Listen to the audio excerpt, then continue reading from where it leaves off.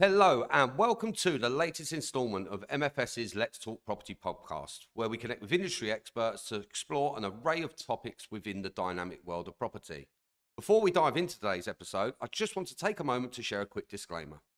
MFS are a bridging loan and buy to let mortgage provider and are not financial advisors. The opinions and views expressed in this episode are personal to the host and the guests and may not reflect the views of MFS. For more information on MFS, you can find us at www.mfsuk.com. And be sure to keep up with our podcast updates on Instagram at MFS underscore LTP. Now let's get started.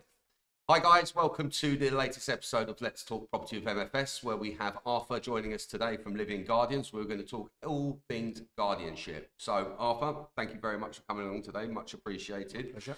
Um, we was having a conversation earlier it's something that's quite widely used in the market, but not many people know about it. So can you give us sort of a little rundown or an explanation on guardianship and you know the uses for it and how, how people sure. use it? With property guardianship, it's basically where we put young professionals and key workers to live in empty properties. Amazing. Um, our business model is that we don't charge the owner for our service. So basically, it's essentially free to owners, and the typical client would be a developer who've bought, bought a property that they're going to planning permission to convert to resi or whatever, and it's going to sit empty for six to nine months. And uh, because we don't charge the owner, it's very cost effective for the owner. Uh, whereas if you were to employ a 24 hour security guard, it would probably cost you £3,000 a week. So a huge saving. Mm. There's a lot, it sounds like there's a lot of benefits from it, not just the cost saving as well, but the security aspect that comes with it, knowing that nothing can happen whilst you're Basically, the law in the UK, as it currently stands, you can only squat in an unoccupied property. So the fact that we put people to live in the building, we it's mm. occupied, even though those people are key workers, they're young professionals, they go out to work every day. Um, no one gets squatted because it's occupied, even though they're actually at work. So would it be the guardian that comes in that pays maybe a, a rent of some description? So they're they're the ones that pay you. Yeah. So our business model is that we take a nominal license fee. We can't do it red because they're not tenants, they are licensees, which means we can on to leave on 28 days notice. And they pay us a nominal 50, 60, 70 pounds a week. Um, so they get to live in cool buildings. The owners get their buildings protected for nothing, but we get the few pounds along the way as well. Fantastic. So the process of onboarding a guardian or someone, is it very similar to, to similar process to renting a property where you sort of do a background check on who they are and very similar. I mean we they would apply online on our website and um, when we have any property that is suitable for them in the area that want to live we would invite them to a viewing they have to then provide their paperwork and do a full very stringent vetting process on them both in terms of financial and energy committee and um, whether they're suitable to be a guardian.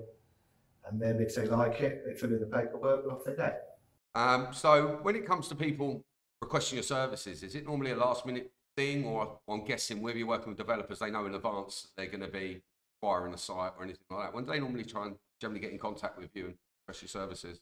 Either before they buy the site or, or you know once they bought it. Sometimes we'd be able to go in before they bought it to um, you know, have a look around and see what's needed to be done to make sure it's compliant, health and safety reasons. Because obviously, there's one thing stopping squatting, another totally different ballgame. It's, it's health and safety. Yeah. We make sure that the property is compliant before we move the guardians into. Gotcha. So it's got to be in a good standard previously for someone to be able to live in there for. for not necessarily. I mean, we, we have taken buildings that are not in a very good condition. We've also taken buildings which have been squatted. Okay. We will arrange the clearance of stuff the squatters leave behind, but then we will make sure the electric's compliant. We have the our own fire alarm engineers who make sure the fire alarm's compliant and obviously very important, you know, boilers service and make sure we have the gas safety Okay, cool. So what's the general onboarding process? How long does it normally take from someone inquiring to you being able to get someone through the door? How long does that process generally take?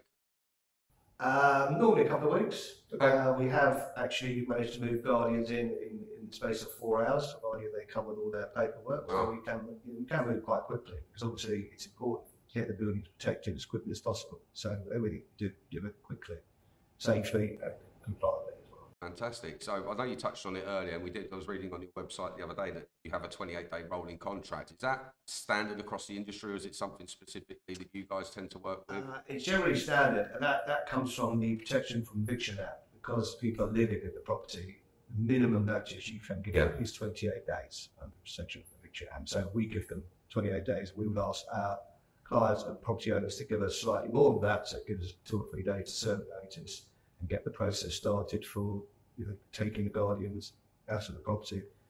Uh, but what we normally do, we normally move them to a new building. Okay. We've had guardians that have been with us for seven, eight, nine, ten years now. They've moved from property to property.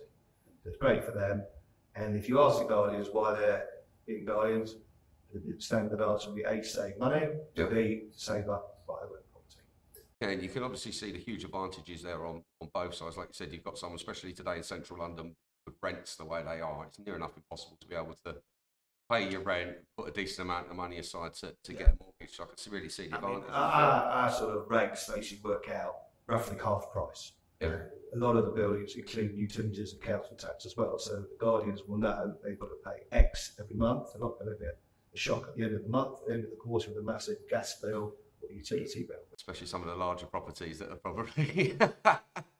No, it's, I mean, obviously, you know, the world is a very strange place at the moment, cost of living crisis, and we've had a massive, um, you know, uptake of people wanting to be guardians. yeah, I can I can imagine, especially with the cost of living crisis and everything else like that. I bet you've had a huge influx of, of people. Is there a specific, you know, what's the most popular type of clients? Young professionals that like to do this. young professionals, I'd say, and then people that want to have different experiences. I mean, uh, they, they're happy to move across London, live in different areas. Uh, they've got it down to fine art. They hire a, a van, they move their stuff, and then go from one property to the next. professionals. I suppose, you know, you, uh, if you're getting planning requirements and doing that process, you normally get a reasonable amount of time within the property because planning decisions aren't generally generally quick. What's the sort of average time that a guardian will spend in a property? Our minimum contract with over over is, is three months. Okay. In London, six months out in London. Um, but some guardians, we, we had a property which we gave back last year. Uh, we had it for seven years. Uh, it was the former Streatham Police Station. It took them about five years to get their planning, and they tried to sell it. It took a while to sell it. So yeah, we that's our, our So record building. They were living in a police station for seven years. Amazing. Um, so the market itself is it is it regulated at all, or any sort of regulatory bodies? It's not regulated, but we, we get shoehorned um, in with the normal Housing Act legislation, which personally I don't think should apply to us, to what we think is temporary. We have to apply for HMO licenses Okay. uh, in all the properties that we're in, and it's a five-year license. Often we're only there for a year, but that's that's the nature of the game, and we have to obviously tick the boxes, make sure we're compliant, which we do. And again, there's a safety element because the council will come and check the building, and make sure that you know, everything is is uh, in accordance with the safety legislation. So how long does it generally take you? I suppose it's different councils are on getting a, a HMO licenses. Do you find certain areas are very quick at it, and maybe Yeah, certain certain areas- areas are quick, certain areas are slow. Every council's got different criteria. Some you need a license with more than five people, some it's more than three. They have mandatory licensing, additional licensing, Mm. selective licensing. It's a bit of a minefield. Yeah, the only reason I talk is from experience. We with a lot of people purchasing HMOs for the exact same reasons, ranging from anything from a, five bed up to a, a 30 bed. And, you know, It's all Different different. ways Some, some of them charge per room, some of them charge per property, some have a cap on it. It really is a bit of a minefield. But we, we've, you know, we've been doing it for the last five or six years now, and we've come quite good at it. Yeah, well, by the sounds of it, you guys have got the majority of the market share currently. Are there any other businesses, or you, you guys are obviously the main one that we've seen and heard of? No, there's other companies as well. Uh, we actually started uh, the sort of trade association, the Property Guardian Providers Association, uh, three and a years ago because there were some companies who we thought were not adhering to the safety legislation, a few cowboys in the industry, and we wanted to set ourselves apart from the others. So we have three companies that joined the PGPA, and between the three companies, we probably that's probably 70, 80% of the market. Wow. And to be honest with you, it's unfortunate with all industries, isn't it? You get the, uh, the people who want to do it the, the right way and the correct way. People are looking at longevity, and the people who just want to uh, not do what you need to do. Unfortunately, some of the early companies in the industry were, were less ethical. They uh, broke lots of rules, and um, you know, so we want to make sure that you know we, we didn't do that, and we also we get audited by uh, fire authorities, so they will come and check on our buildings Okay. and make sure that they are compliant. It's a primary authority partnership with Hampshire Fire and Rescue, and so they will come and select around the ten of our buildings each year to make sure that they're compliant. And if we've got any if they're concerns, we call them into the meeting to, to, to you know, come and check it. Yeah, so you're always on top of things, really. The regulations, your gas safety, anything that Yeah, involves so it. all our, we are our own in-house maintenance team, and they're all got all the accreditations. The fire alarm engineer's got the BAFE accreditation, electrician's got NICEIC accreditation. So we we want to do it properly. But we touched on earlier about the, the cost of living in the pandemic um, and the issues that it's caused across the country. So, have you seen a huge influx of people that are looking to be a guardian now? Yeah, you know, once the sort of cost of living crisis kicked in, we noticed a massive upsurge when people applied to be guardians. I mean, at any one time, we've probably got a thousand people on our waiting list. But um, yeah, more recently, that's gone up to nearly two, three thousand people. So the, sort of supply, we've got demand for our strip supply in terms of guardians looking for property. Fantastic. And then generally on at any one time, I know it's sort of a, you know you could probably have like 30 buildings at one time. Or what's your sort of average properties you normally have under your, your management? We've got about 70 properties at the moment, and bizarrely, it works out roughly 10 per property. And obviously, some are small, some are big, some Yeah. are 30 guardians, some are 5. So, an average, you know, 10 or slightly less. Yes, we've got about about 700 guardians. It's an impressive number. So A lot of management. I was going to say, I don't envy your paperwork, that's for sure.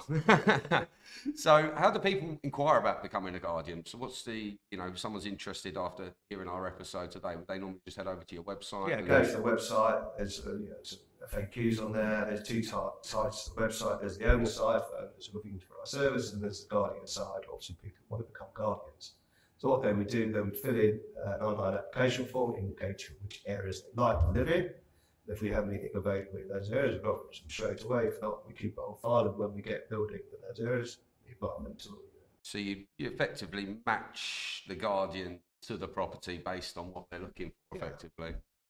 Is, is this nationally, do you do it, or is it? No, we do it sort of within an hour of, of London. Okay. Because We've always got to be able to get to the properties if there's issues, and we need to be able to manage them uh, and deal with the maintenance. So we do rough rule of thumb, it's an hour from our office, which is North London. Although recently we've taken on a couple of buildings slightly further than that, in Canterbury, Kent. Okay. We, we knew we were going to get them for two years, so um, it's worth taking them on. Worth, uh, They're a bit further out. worth the travel. And then obviously, do you have a specific maintenance team that's permanently employed for you? So as soon as there's an issue, you pick up the phone and off they off they Yeah. go. We decided very early on as a business we wanted to have our own in-house maintenance team because obviously we can control them. There's nothing worse than having water pouring through your ceiling and you ring a plumber and he says, I'll be there a week on Wednesday. Yeah. It doesn't really help. And charge you five times as much. We've got the guys that, you know, they're our team and if there's an emergency, obviously we'll pull them off whatever job they're doing and Yeah. get them to do. How many people in that team, roughly?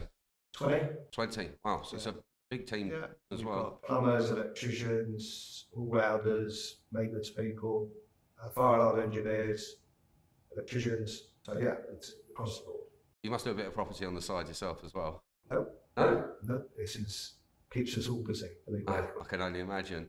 And every day is different. You, there was some drama, some problem, some issue coming up. So uh, I think that's property all over at the minute, isn't it? Whether you're working in the guardianship side or the, the investor side, there's always going to be issues, and it's uh, about how you overcome them. So, how do you see guardianship faring over the next 12 months? You see it keep on? yeah, I think demand and also the economy is slowing down slightly. So people who are do, developers or building offices, they're going to sit empty. So we've been asked to protect uh, some empty buildings, particularly when they've been finished, and they're worried that someone will come in and steal the copper or steal the boilers. Yep. So we, we do offer a slightly different service called live-in caretakers, where we have uh, ex-British military personnel. We will go and live in buildings, which are really for short-term situations, maybe um, you know, it's two or three weeks or a month, whereas the guardianship is always a minimum of three months. Okay. Interesting. So, you can offer all ends of the scale, really. That's right. And I personally think you're going to be a lot busier with a lot more people with interest rates in the market going in. So, you're getting a lot more people now wanting to start transacting and start building again. And I think you're going to see a real, real influx and uh, look forward to watching the, the rest of your journey. So we normally like to end up with a, a quick fire round. Um, so what three? What are the three key things people should look at when they're trying to keep their property secure, safe? I'd say cost, flexibility, and speed. So we can react really quickly, get into a building. Well, our record is two hours to get into protecting a building. Obviously, the cost is important for the landlords and the owners. to keep their costs down and flexibility. You know, we will sign a minimum three month contract, but thereafter it's on a, on a month's notice. So if the planning takes longer Yeah. than expected, if it takes nine months, they get to nine months, they'll give us a month's notice. We'll move the guardians out, they get their building back in vacant possession. Fantastic. I suppose that's the best thing about having that 28 day rolling contract, isn't it? Because with planning, you don't know whether it's going to be three months, three years. When I first started this business, I took on a building in Hampstead and I said to the client, you know, our minimum's three months. He said, well, I only want you for nine weeks. And if it suited me because we had a building go back, I knew I could move the guardians one to the other. We were there for five years. So you never know, especially when it comes to I'd like to say a massive thank you for coming on and telling all our listeners about guardianship and how it works. Uh, and Thank you yeah, for having me. very much looking forward to, to watching your guys' journey. And I'll be doing some research on this as well. So, uh, Fantastic. Thank, you very much. Thank you. If you've enjoyed this episode, please don't forget to subscribe, like, and share. You can access our previous episodes in all the usual places, as well as on our website at www.mfsuk.com slash podcast. You can also stay connected with us on Instagram at mfs underscore LTP. See you next time.